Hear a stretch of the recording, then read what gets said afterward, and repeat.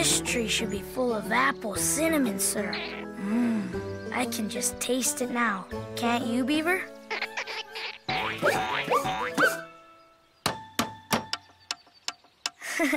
hey, did you hear that, Beaver? There's an echo. That's no echo.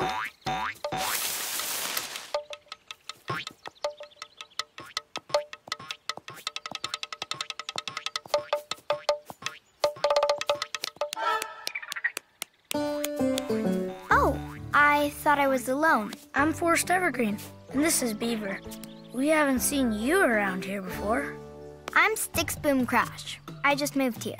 But if this is your neck of the woods, we can leave. No need to go. There's plenty of room for all of us. Plus, we really like to hear you play.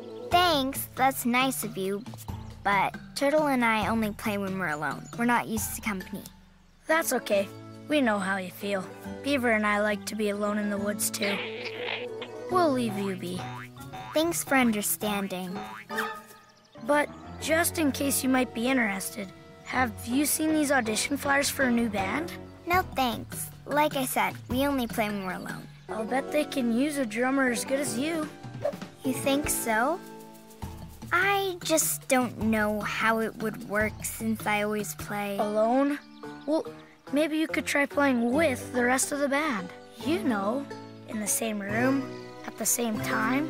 Hmm. Interesting. Who wants a barbecue?